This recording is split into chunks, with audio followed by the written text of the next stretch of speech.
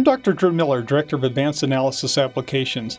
I'm an Air Force Academy honor graduate with a master's degree and PhD from Harvard University.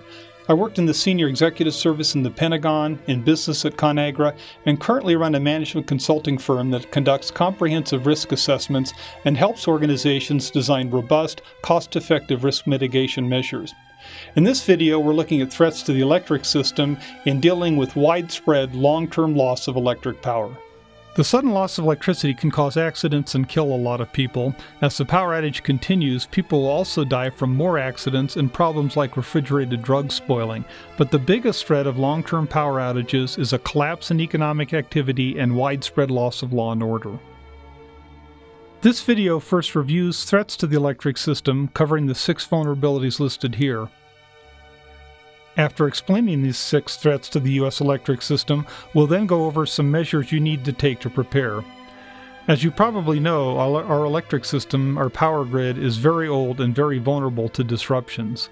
The electric system can be taken down in one area from a wide variety of causes. What's particularly bad, however, is that a problem in one part of the grid tends to spread, causing voltage surges and power fluctuations that damage other parts of the grid. This General Electric video explains how a simple lightning strike or a short on one big transmission line can spread to other parts of the grid, spreading blackouts across the system.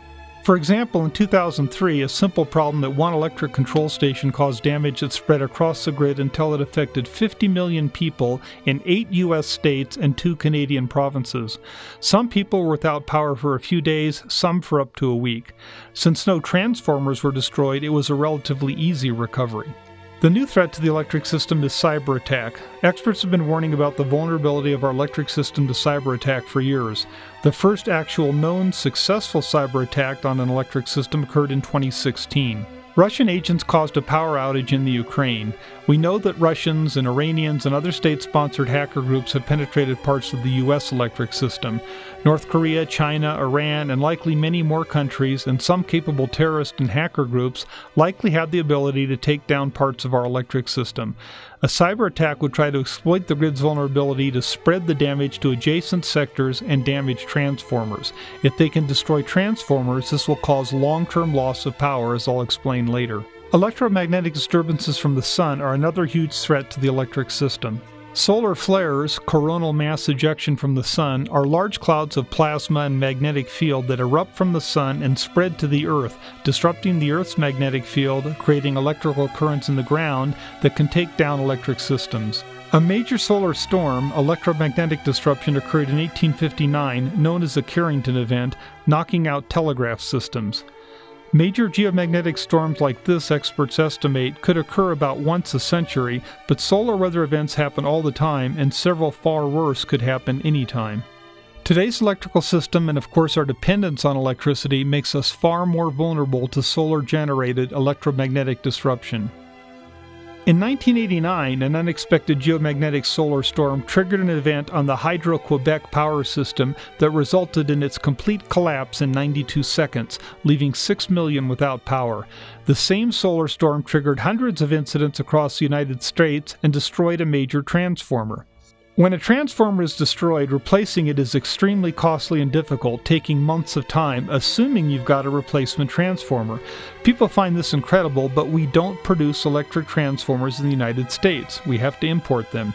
In good times, this means that if we lost a lot of transformers, it would be over a year to get replacements, and that assumes the foreign producers are willing to ship to us. How severe and how severe and widespread the damage from a large solar event would be, we can't be certain. Studies and simulations of major solar flares estimate both concentrated regional destruction and outages across the United States and other countries as well. What we can be confident of is that rebuilding electrical system damage will take years when you have widespread system damage and loss of transformers. The fourth major threat to the electric system is a nuclear weapon detonated high in the atmosphere that generates electromagnetic pulse, or EMP. Scientists and electrical system experts have been warning for decades that our electrical system needs major redesign and hardening for protection against a nuclear EMP attack that may require just one or two detonations. The damage from a nuclear explosion high over the United States could destroy large parts of our electric grid, as well as destroying computer chips and electronic circuits in cars and buildings across the U.S. Commissions have been formed to study the problem, they've recommended action, but none has been taken. In 2017, another national commission was authorized by Congress to address this problem, but even if action is taken, it will be many years before our vulnerability to a nuclear EMP attack can be addressed. The former head of the CIA recently warned that North Korea's small nuclear force could be using warheads optimized for an EMP attack on the U.S. They would cause far more destruction with an EMP attack than destroying a city, and it does not take good accuracy for an EMP attack. Coordinated terrorist attacks on the electric system, targeted on vulnerable nodes, or just lots of attacks that destroy transformers could also take down our power grid. Like other threats, this has been widely studied and found to be a big risk, but little action has been taken to reduce the vulnerability.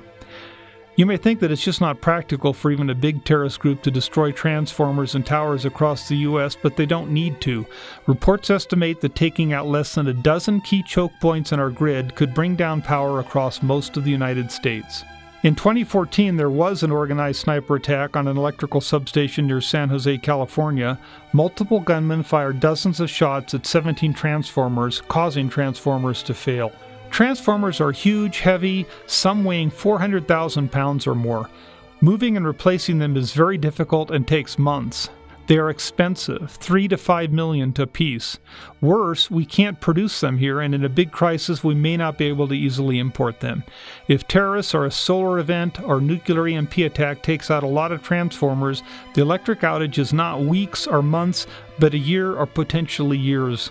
The final category of electric system damage is follow on damage, cascading effects that bring down the electric system. We saw this in Japan a few years ago, where an earthquake caused a tsunami, which led to damage to the nuclear power plant at Fukushima and then a meltdown. A bigger earthquake off one of our coasts or a big asteroid strike in the ocean can cause tsunamis far larger, hitting dozens or hundreds of power plants and stations. Experts warn that a new Madrid zone earthquake in the central U.S. could take down power lines and disable power plants over not just a wide area, but prevent power transmission across the United States. In sum, there are many ways our electrical system can go down across larger parts or all of the United States, and with damage it could take months or years to repair. There's a very unwise tendency to focus on the initial disaster and ignore the cascading effects. You can't know how events will unfold, but you can be certain that many other bad effects will be triggered and there will be lots of bad fallout from a major loss of power.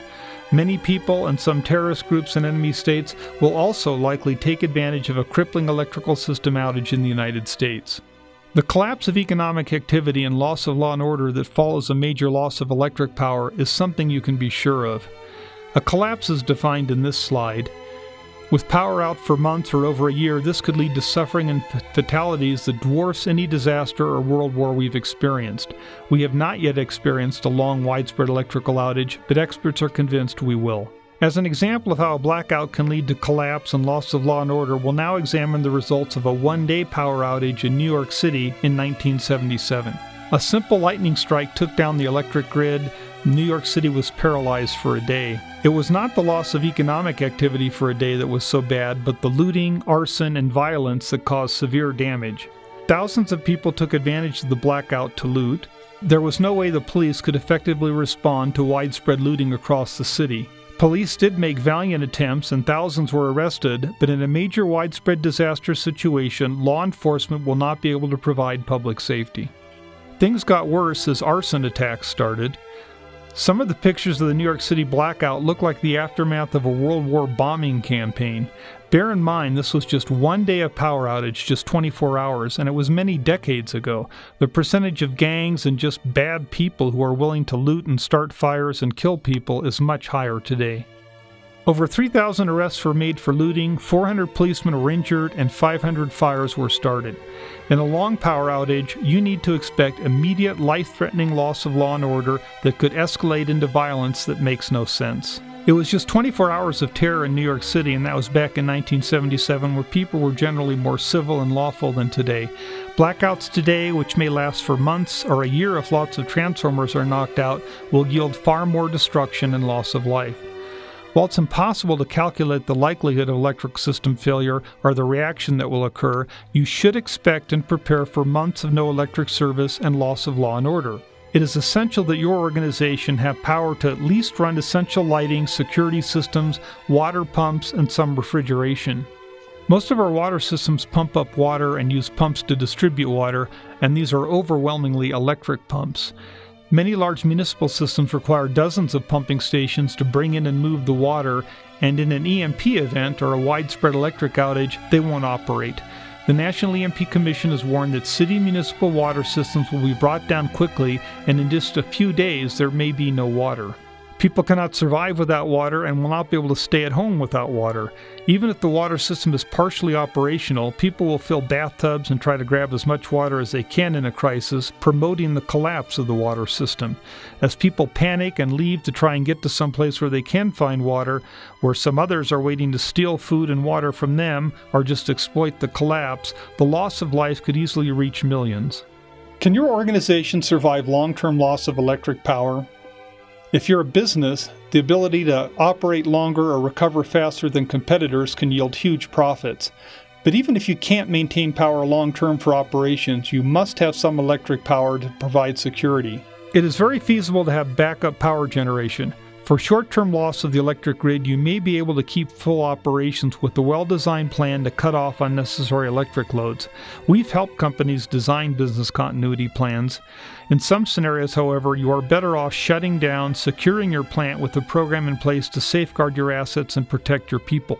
But you can't do this without electric power. This video examined a major food company that looked into their ability to weather an EMP attack.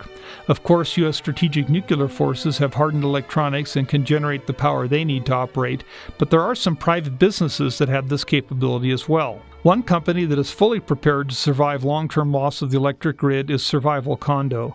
This luxury survival community has multiple ways to generate power and is designed for long term operation without connection to the grid. In addition to the large wind generator you can see in this photo, they have two large commercial diesel generators. Hospitals also have diesel backup generators, but unfortunately, they only store enough fuel to operate for a few days. You should not size your fuel tanks for an outage of a few days. You need to size them for months of operation and have the research and systems in place to bring your power load down for long term operation. Survival Condo is designed to keep its members not just safe but comfortable for over a year during the worst possible disaster. And of course, they have a huge battery system, walls of batteries so they can store power and operate when wind or solar power isn't coming in, and to avoid having to run generators all the time. I've toured one of Survival Condo's facilities and was also impressed with their power control system, which cannot be ignored. You must have the ability to monitor and control power, ideally from multiple sources, fully integrated with your battery storage system, and you have to be able to control for fluctuations in electricity quality, supply, and demand. If it's a solar event or nuclear EMP event that causes the collapse of the electric system, then you need to have your generating system shielded as well. Survival Condo handles this easily because they are deep underground behind massive earth covered concrete walls and huge metal blast doors. You can get more details on Survival Condo at their website or email them at the email address shown here. If you don't have an underground ICBM silo, you can still find cost effective measures to shield your power generation system. Warren Buffett insists that the CEO should regard his position number one as the chief risk officer. Buffett recommends that you, quote, wake up every morning and think about is this place built to take everything? Few organizations are prepared to deal with either a long term loss of the electric system or the breakdown of a functioning society. Businesses and all organizations and individuals need to prepare for long term power outages and other disasters, assuming a collapse of the economy and loss of law and order.